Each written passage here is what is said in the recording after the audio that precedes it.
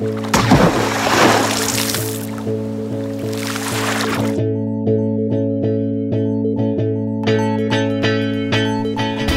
out there is St. John's, Newfoundland. This is the last day on our North American tour. Uh, we're heading back to the UK as of tomorrow. We're going to do five days across the ocean, back into Southampton, UK, where we then go to uh, Spain, Portugal, a couple other places before we make our final uh, trip across the ocean again and spend the rest of our days in the US and the Caribbean and whatnot. But today is the last day uh, on this North American tour in St. John's, Newfoundland.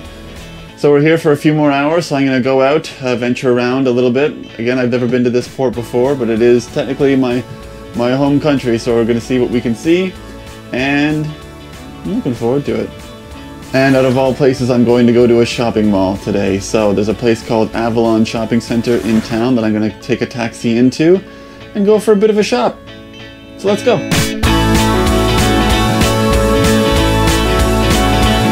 Just off the boat now, which is just right behind me, the beautiful Sky Princess. And then no terminal, no nothing. We're just right in town, right downtown. The ship is literally just right there. St. John, right there. Very convenient. No shuttles, no tender, not even a terminal to go through. No customs. You're just welcome to Canada, which is great. And now I'm just waiting for a taxi to pick me up and take me to the shopping center, which is not far. It's about a 12 minute drive. And I was told by the nice uh, pier gentleman, the port agent there, said that uh, Bugden's was a regular taxi in, in town to take. There are two independent taxis, it looks like, just right in front of me. One of them actually is called Independent Taxi, the other one's called Newfound Cabs, which is probably more of a reputable one. But I just wanted to take the larger of the brands here in Newfoundland or in St. John's, uh, just because I can charge it back to the uh, the company because I'm actually going to be doing a little shopping on company time as well. Well, I mean, I'm working in the town, which is why I can charge it back to them. Otherwise, it would be my personal stuff. But um, just waiting for the taxi now. Oh, if that cab driver was any more friendly and polite, it would be annoying. But uh, we're in St. John's. It's par for the course here.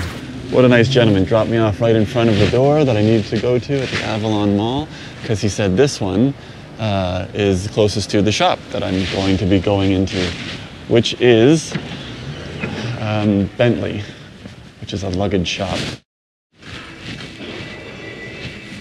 I imagine I'm as close to it as I can get, but we will buy as many luggage pieces as we can today and then head back to the ship so we can get sail away at 5.30. So back on board at 5 o'clock. Wow, the place is a lot bigger than I thought it would be. And we're just in the hallway at the moment. Well, I think I found what I was looking for. Let's buy some luggage. And I have. There it is. There's Bentley. Ooh, I'm really shaky. And it is. There it is. There's Bentley. Let's go in.